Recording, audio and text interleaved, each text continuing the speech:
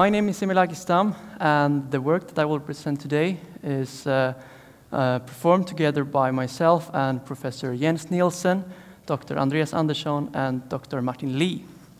And what we'll discuss today is multi-objective design optimization of transition zone between different railway track forms. So before we begin, I would like to give you a brief motivation about why the work that we do is important. So in railway lines, different types of transition zones are occurring frequently. And the track geometry uh, in transition zones usually degrades faster than in other parts of the track, which implies that uh, extensive maintenance work is usually associated with transition zones. So a key question here is how shall a transition zone be designed for optimal performance? And what we are uh, outlining today will hopefully at least partially give an answer to this question. So we will develop a, a, numerical tool that can be used when transition zones are designed. And we can use this numerical tool for uh, determining key parameters for transition zones. It can be used to analyze influences of different imperfections. And it can be used as a complement to physical standard and existing standards. Um, and also guidelines when requirements for the vehicle and the track are determined. So, a brief introduction.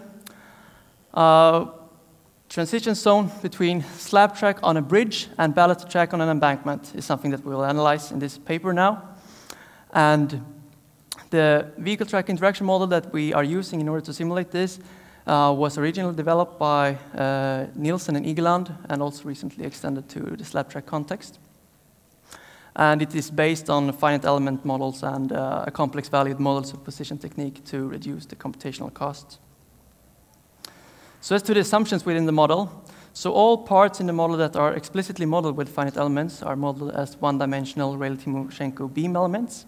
And the uh, foundation is in this uh, study modeled as a Winkler foundation, whereas the bridge is assumed to be significantly stiffer than the embankment, and therefore, yes, modeled as a uh, as a rigid structure.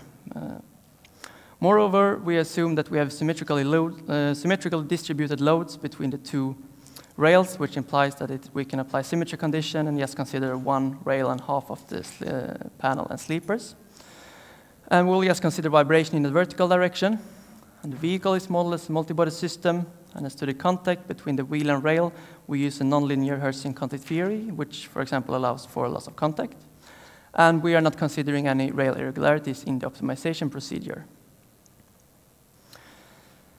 So here is something strange with the graphics, uh, but uh, we want to analyze a transition zone between a slab track on a bridge and ballasted track on an embankment, as I've said before. And we want to investigate how different design variables affect crucial track responses.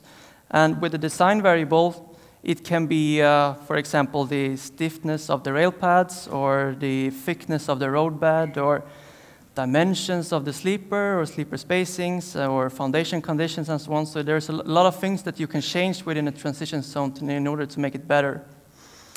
So we want to uh, see how we can change different things in transition zones in order to see how it affects different uh, track and vehicle responses. So in this study, we are considering three different objective functions that we want to minimize. So we are trying to, what we want to minimize the maximum wheel rail contact force at any of the wheel set. We want to minimize the maximum pressure between sleeper, panel, and foundation.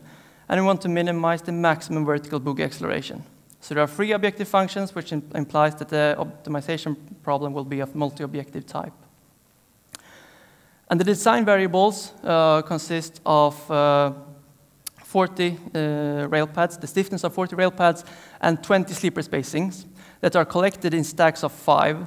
And uh, so in the figure here, uh, I'm sorry for the poor quality. I don't know why we have that.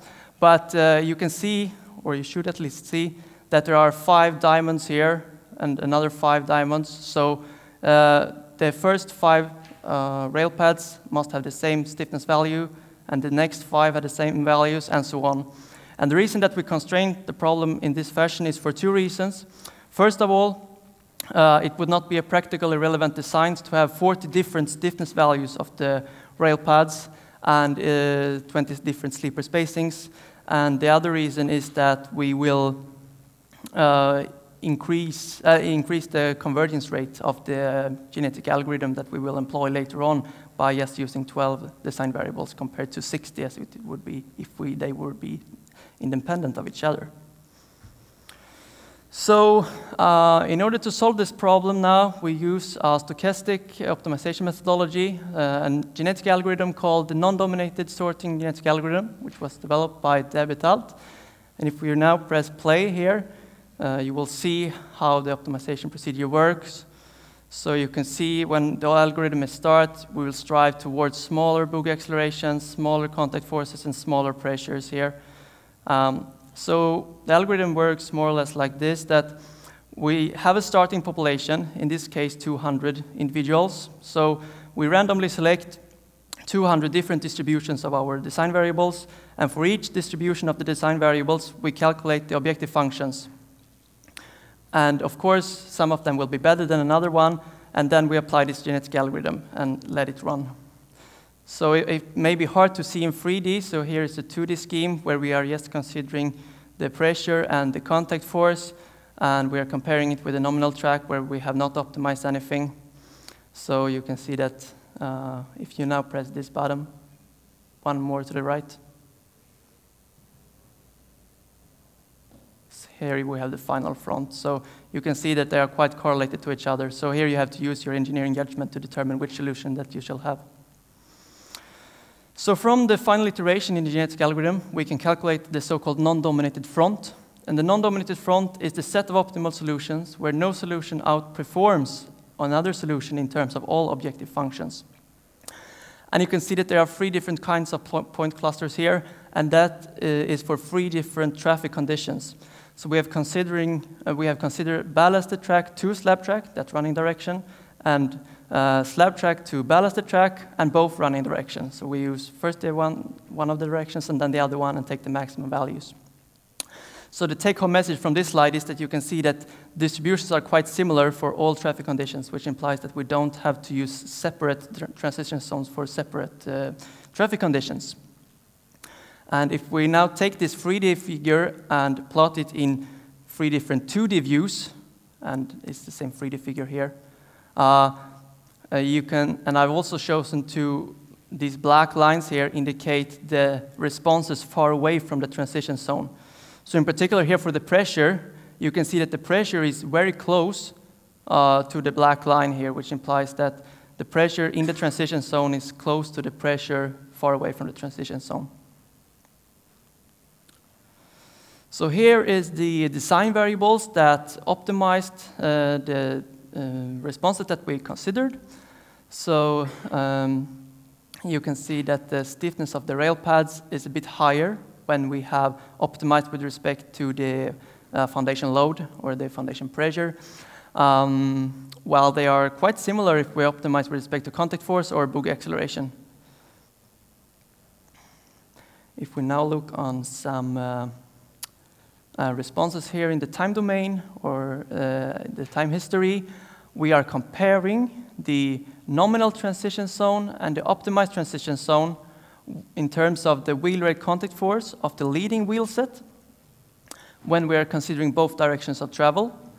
So, of course, since we have an inherent stiffness gradient here uh, for the nominal transition zone when we are going uh, from a slab track to a ballasted track, we will get increased dynamic loads in, in the vicinity of uh, the transition. But when we, when we have minimized this maximum value here, you can see that uh, these values are reduced.